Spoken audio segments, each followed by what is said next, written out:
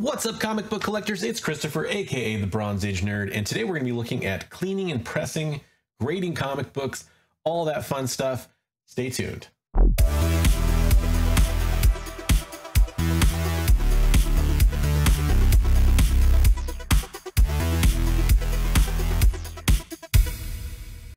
Okay, so if you've been following along with recent videos I've done, you noticed that I had a really terrible CGC submission, and most of that was due to the fact that I had a really poor uh, clean and press job done on those comic books, and I didn't quality control check those comic books enough before I sent them off. So you've heard me mention Turlock Comics before, and here's where we're really going to start diving into what Turlock Comics is all about. I started a relationship with Hulk Nuts from Turlock Comics uh, because I was picking up some comic books from him through his IG page, and we were submitting those through a third party. He he was doing some submissions himself too, uh, to be clean and pressed, and we were getting those graded. And we didn't like the results we were seeing. And this was a different presser than the one you saw in my last submission video. This is something that's been in the works for a while here. So we weren't happy. And on his own, Hulk Nuts decided to go seek out uh, a, a third party, basically, a partner that he's partnered up with for cleaning and pressing and doing his own submissions. And this is now a business that he is part of in addition to his IG sales Plus, they have plans to open a brick and mortar store. So you're going to be seeing a lot more of Turlock Comics on the channel as we kind of get rolling here. And this is sort of the first, you know, kind of introduction we're going to do here. So what I have in store for this video is I have a bunch of comic books. I think I have about 17 total that I sent off to Turlock Comics for cleaning and pressing. Before I did that, I took detailed pictures of those comic books, actually a ton of pictures. I have about 250 pictures we're going to look at. So I'm going to go over them pretty fast You'll want to pause if you want to get a closer look, but I want to keep the video moving. Plus, I've already made my grade determinations. We'll look at each comic book in detail, and I'll tell you what I think the rough grade is. I want you to follow along and tell me what you think the grade is in the comments down below for all the comic books or any of the comic books you think are interesting. And then that way we'll kind of compare notes when the results are in. So I've already locked in my grade guesses. And, and basically the way I did it is I decided this is what the comic book looks like in the grade it's in. And this is what it looks like it should be to me after a competent clean and press. Now keep in mind that I'm still pretty new at this. I have, you know, trouble spots grading. I'm sure a lot of you do too. Some of you are very good at grading and that's fine as well. You can still watch along and give me your professional uh, kind of opinions on all this. I'm definitely more of a rough grader, and you'll see that. You know, feel free to, to judge me as I go along here. That's totally fine. Part of the reason I started this channel, one of the things I wanted to do with comic books is I wanted to get into grading and get into getting comic books slabbed. And those things go hand in hand, generally speaking. And that's something that I'm still learning. I think I've gotten pretty good at it, but I still have a long way to go. Okay, so let's start the slideshow and I'll start checking out the first comic book in my submission here. Okay, so as you can see here, the first comic book in my submission was Avengers Annual number 10. And this is a newsstand edition, so I was willing to go uh, to submit this in a lower grade. I have a personal copy of this book. I wanted one uh, to kind of speculate on, and I figured a newsstand, especially in an affordable condition, was a good way to do that. If you're not familiar, this is the first appearance of Rogue, who later joins the X-Men. It's kind of notoriously a bad cover, which probably holds it back a little bit. But anyways, let's check out the condition of this book. So for all these, you know, this is kind of the, the overall cover shot and we can see the top corner uh, does have some slight uh, blunting on it. And you will see that there is a color breaking spine tick that's visible in this photo. Uh, the top right corner looks pretty good. There is one little color breaking crease on the corner there. And again, we're going to go pretty fast through these, so don't expect details on all of them. I'm just kind of going to give you an idea what we're looking for here. You can see one bend through the barcode there that extends above that uh, that should press out and a, uh, a little bit of a, a, flip up on the bottom right corner here that's going to probably press out as well. That might slightly break color. No, that should probably press out, it looks like. And here's a better look at that crease. I kind of wanted to get some some angle on that so you can kind of see the severity of that. Plus you can kind of see that we're looking at um, uh, some stuff on the staple there. Here we get a little bit better look at that color breaking spine tick that is on the spine and a little bit better look at that bottom staple. You do see some some dirt on the back cover here. Not too bad actually, but there is a little bit. And you see a few more creases that would definitely press out from my experience. Probably the most significant thing you'll notice on the back cover is this right here and this area right here. Again, that should press out. That one, it's a little bit harder to say, uh, but it looks like it would press out there. And then it does need to be cleaned a little bit in that white, which is pretty common on these back covers. I took an interior shot, uh, mostly just to give you an idea of page condition here. And then there's also one that's going to be at the uh, midpoint of the book in the staple seam. So overall, I thought this book was in 7.0 condition uh, before a clean and press, and I was hoping to get it in an 8.0 after a clean and press. Okay, the next book up on this list is another newsstand, another big one that's in the submission. This is G.I. Joe number one. Uh, and I think this was in a very high grade if it got a clean and press. However, it needs a clean and press very badly. You can already see right here, these uh, these creases are pretty noticeable, but the outside edges of the book look pretty good. See a little bit more of a uh, of a crease there that's going to need to get pressed out. Here's a better look at some of those creases. Again, they don't really look like they break color, so this should be pretty good there. Corners look pretty sharp. This was printed on Baxter paper, which is kind of this thick paper. It's a little bit little bit interesting. So it is kind of a thicker book. Another look at those uh, creases up there. And the back cover of this really needed a clean. You can see again, you know, white cover, a lot of these uh, these kind of dirty spots all over it that are going to need some love. It's going to look a lot better after a clean. A little bit of a close-up look at those. Again, corners look pretty sharp. So I think we're going to be in pretty good shape on this thing after a clean and press. So conferring with my notes here, I I thought this was in an 8.5 condition as is, and I was hoping to get it in a 9.2. All right, this is a bit of an unusual comic book. A lot of people probably aren't familiar with this. This is Liberty Comics. This is part of a First Amendment group that, that kind of posts for freedom of speech. This is a J. Scott Campbell cover. As a J. Scott Campbell fan and a Danger Girl fan, love Abby Chase. Uh, definitely thought this was cool. I like the message behind it. I like the, the art here. Kind of hits me on all cylinders.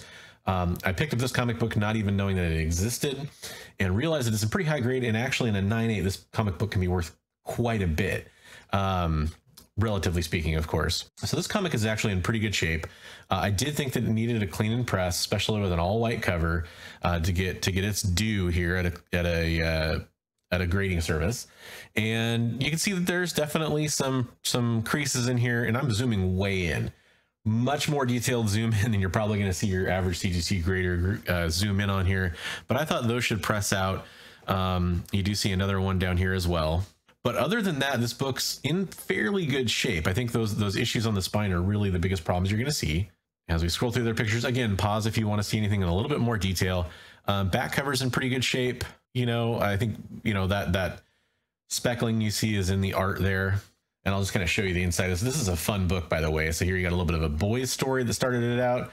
And then you had this kind of fun spread page on the middle. So I thought on this book with the condition of it currently, I thought it was at a 9.2 and I was hoping to get it in a 9.6. Uh, I did think that one of those uh, creases was probably color breaking, um, you know, on a white cover and therefore would make it so that this would not get a 9.8. So I was hoping for a 9.6. Next up, Uncanny X-Men 221, kind of most famous for being the first appearance of Mr. Sinister, of course.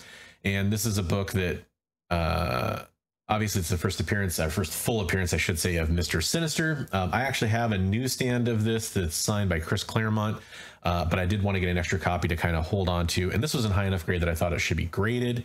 Kind of go through all the detailed pictures here. You know, you definitely see some stuff uh, right there. You see a little bit of a color breaking crease. Again, you have to zoom way in to see that that's color breaking. Um, other than that, this book looks like it's in really good shape. You got one other tiny one right there. I mean, you know, I'm zooming way in, guys, but you see some scuffing there as well, some rub. Corners, you know, probably not in a 9.8 condition there. Um, so this is kind of where you see the biggest issue with the book right here, uh, which should press out. Also needs a little bit of a clean along that edge as well. Gonna go over the other photos here real fast. And I think this thing looks like it's in, in really high grade.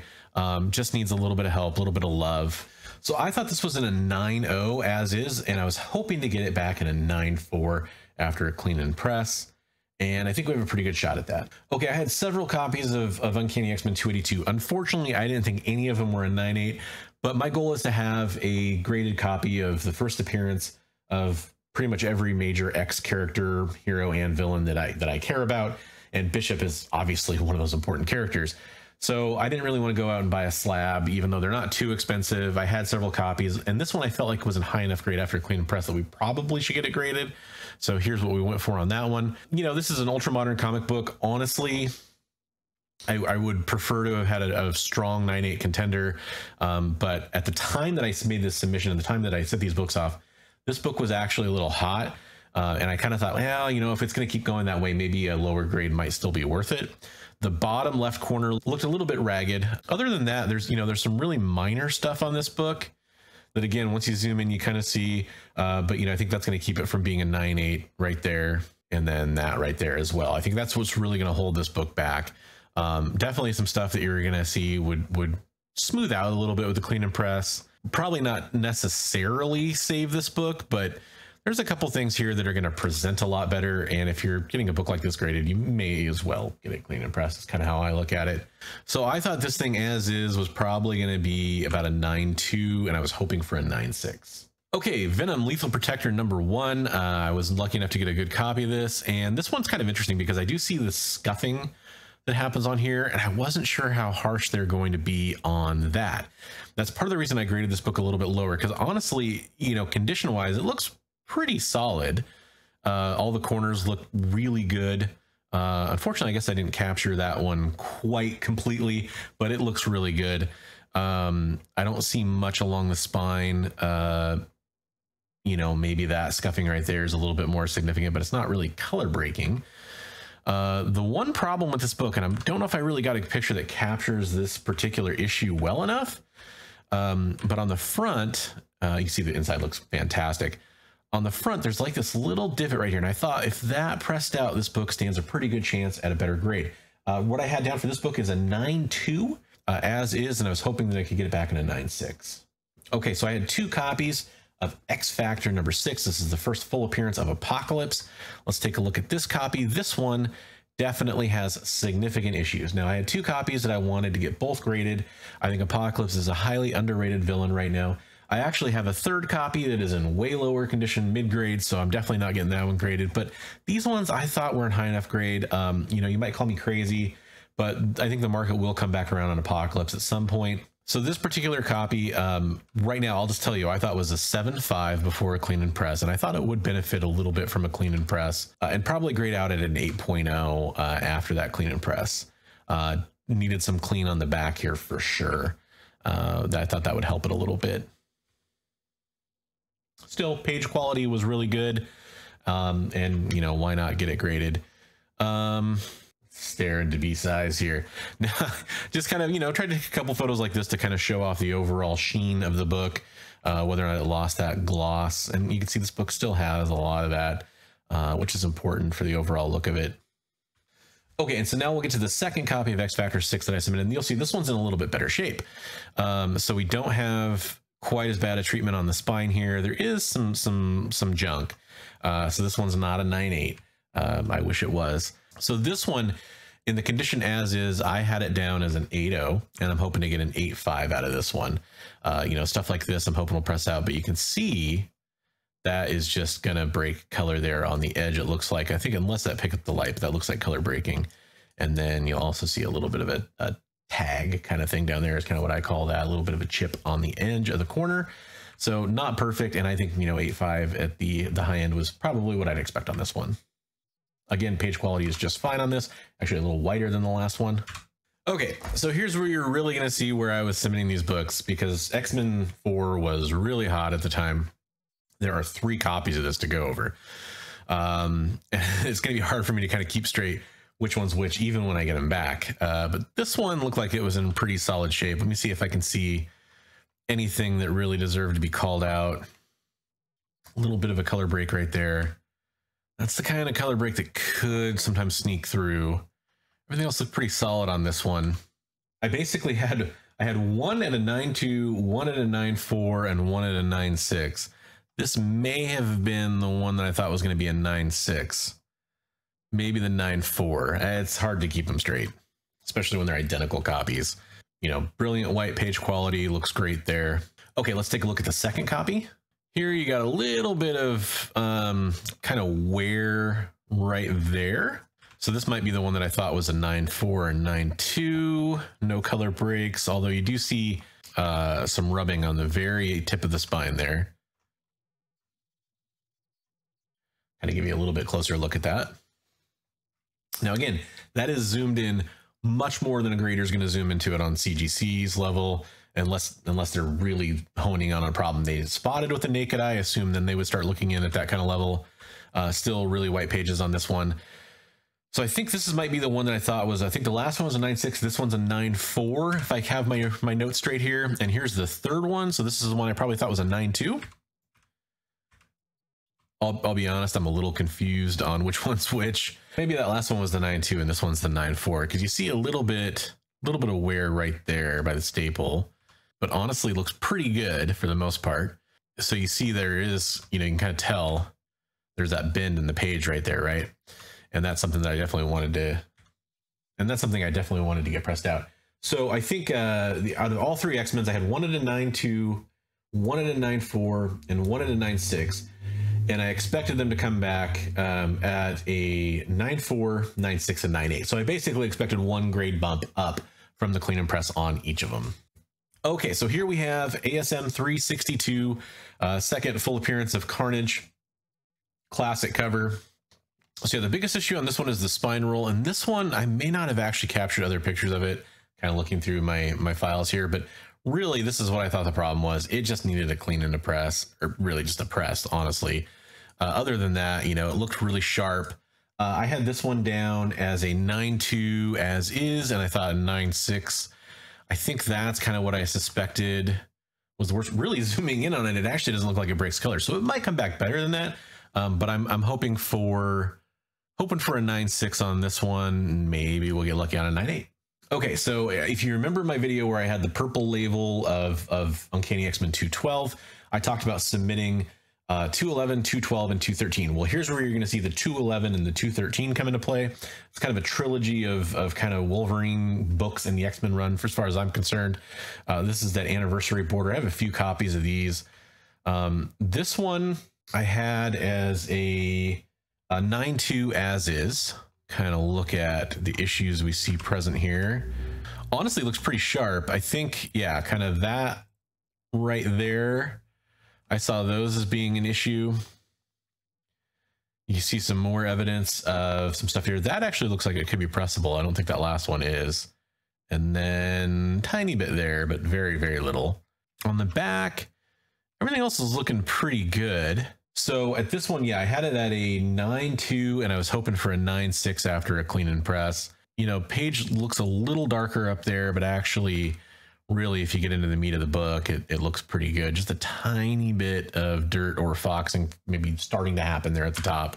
Okay, and then I said X-Men 213. And X-Men 213, this one I thought was in a 9.2 as is.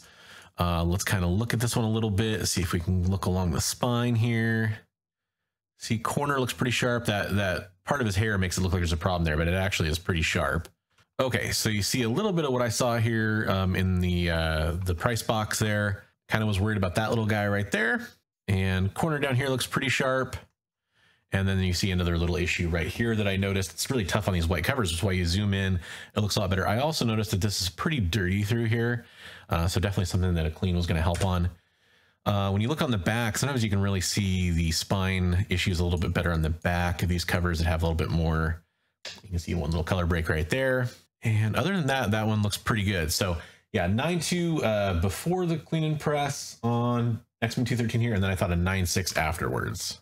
Just a couple more shots of the back cover there, and then we move on to the interior. Uh, this was a white pages to me from CGC standards. And let's move on to the next book.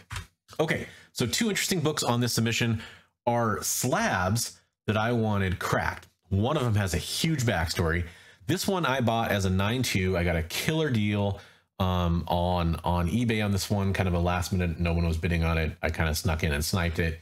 Um, this is uh, the first appearance of the Thunderbolts team, and it is very difficult to capture issues on a slab to try to photograph, at least for me this is the biggest problem with this book. So it's not a 9.8. You know, you can kind of see a hint of something right there.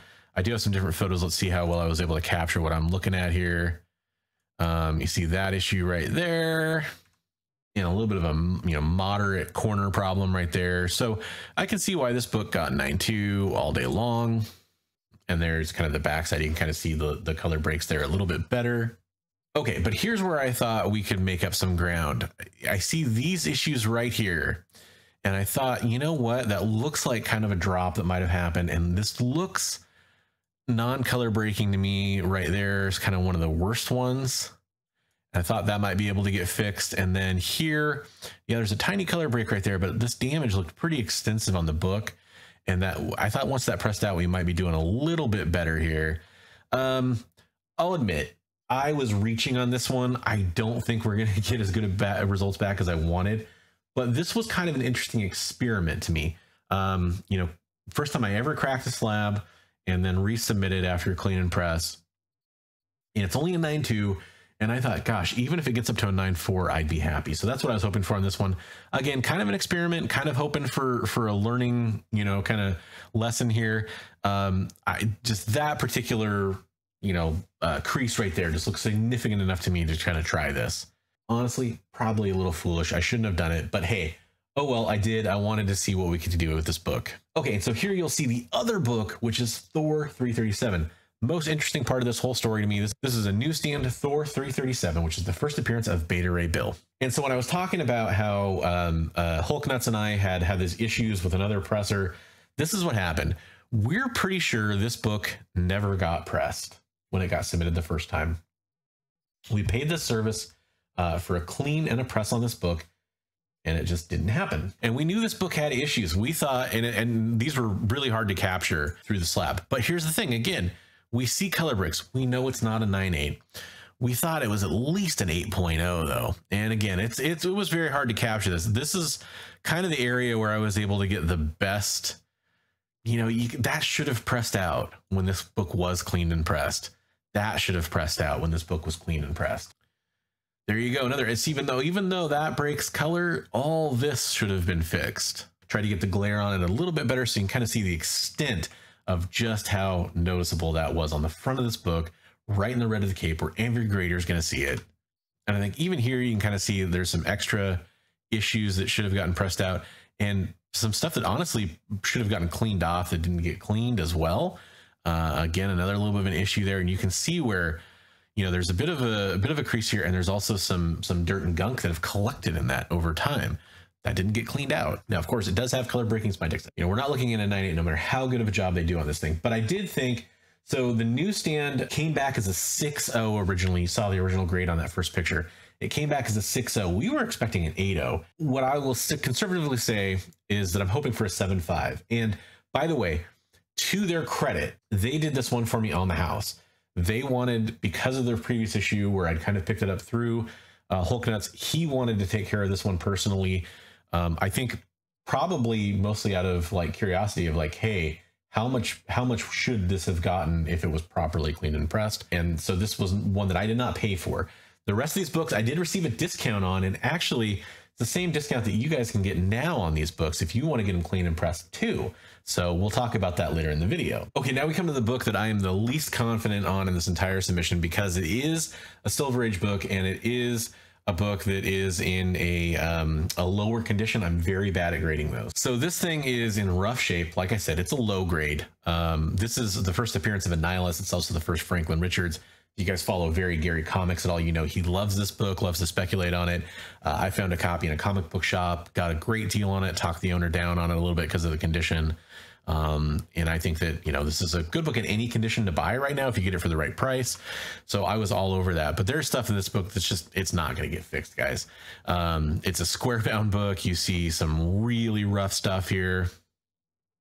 Kind of give you a chance to look at that. Again, pause if you need to. You see some chipping on the edge here. Um, you know, some some kind of bad wrap slash possibly some roll on it. You got these marks from where it rubs somewhere. Uh, just spider web cracks here. So this one's tough to me. Um, really hard to gauge like just how dirty this is versus just the age of the book. A little bit easier to tell on the white. You know, there's definitely some stuff here that would clean up, and there's definitely some stuff here that would press out. This stuff would clean up, I would hope.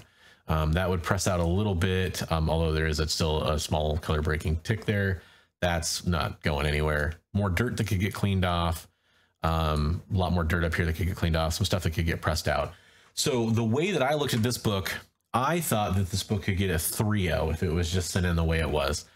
And on a book like this, you know, if there's any chance to improve it, I figured why not. I'm hoping for a 4.0. I have no idea if I'm even close on what I could get on this book. Um, but that was kind of my conservative grade estimate on this one. This should be a real learning experience. I'm excited to see what this one gets back. Um, you know, you do have this little issue at the bottom too, like there was the chipping issue at the top as well. Um, you know, on these square bounds, it's real tough for sure. Uh, inside looks pretty decent, except for I, boy, I couldn't even tell you like how bad that is. I don't know. I don't know how uncommon that is. I, I don't have any of these other annuals to really compare this with, or interior shots. You know that stuff that you saw on the front punched through to this. That's really hard for me to determine. Um, other than that, looked really good, by the way. Um, but I, you know, that's a lot to to say. Other than, but that's a lot to say. Other than that. Um, so this is a really interesting one. I mean, I'm really curious what you guys think about it in the comments down below. Okay, so that's the majority of the books. I should mention there are two other books. Um, there's a Days of Future Past Part Two, and there's a First Daken, uh, both of which are books that I submitted through him, but I never actually owned them prior to this. So I don't have a bunch of before pictures to really judge. We'll still see the results of how they did on those books, but uh, you know, I don't have a bunch of before images to compare them to.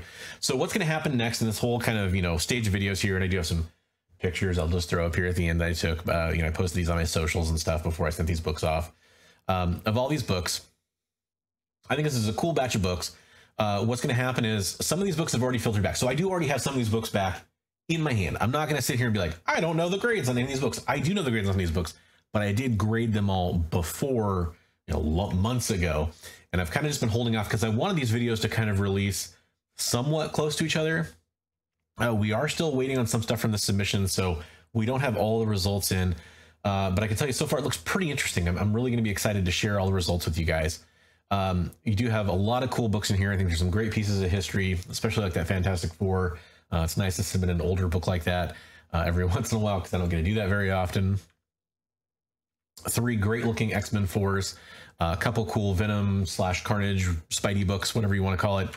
Um, a fantastic J. Scott Campbell cover, some really cool X Men first appearances and key issues. And this picture, which actually just reminded me, I have two first appearances of Jubilee that are part of the submission that I guess I don't have pictures for, which is kind of weird. Um, I will say the grade predictions I had on those um, were one I had at a 7.0 and one I had at an 8.0 uh, prior to Clean and Press.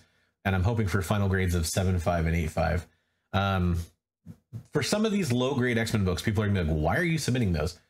Honestly, with CGC turnaround times, especially the way they were when I submitted these books, I just wanted to have a copy for the personal collection, whichever one's in higher grade, probably for most of these. And then I wanted to have one to just kind of sit on. If that character pops up in the MCU, I can post it on eBay or whatever and make some money off of it and kind of pay for the grading fees as we go along. I think that's going to happen with some of these characters. I mean, for all we know, Jubilee is going to pop up in Doctor Strange 2. I mean, probably not, but we never know. We do know the mutants are coming. We don't know who's going to be. It could be Rogue. It could be Jubilee. It could be Gambit. Could be Mr. Sinister. We really don't know. All right, so that is a ton of pictures. There's a lot there. Hopefully you guys enjoyed this video. Uh, if you're interested in saving money on cleaning and pressing, here's what you do. Hit up Turlock Comics on IG. There's a link in the description below. If you reference the code bronze nuts. That's bronze nuts. When you talk to them in your conversation, you can get any book, Golden or Silver Age, clean and pressed for $15. If you do 10 or more books, that's $12 a piece plus shipping. So that's something to keep in mind. Uh, like if you're sending them off to CGC or whatever and they come back, you know, there's going to be a shipping cost involved in that. That's going to be in addition to that. But I think that's a really great deal. There's a lot of awesome uh, work that's being done by those guys over there. I know a lot of people are already seeing some really fun results, and I can't wait to share my results with you guys when all the books finally come in. Thanks for following along for this video. I really do appreciate it. Let me know what you guys think in the comments down below. Don't forget to grade my comic books, and I'll catch you in the next one. Until then, I want to remind you, as always, hey, hey, hey, hey. Read comics every day.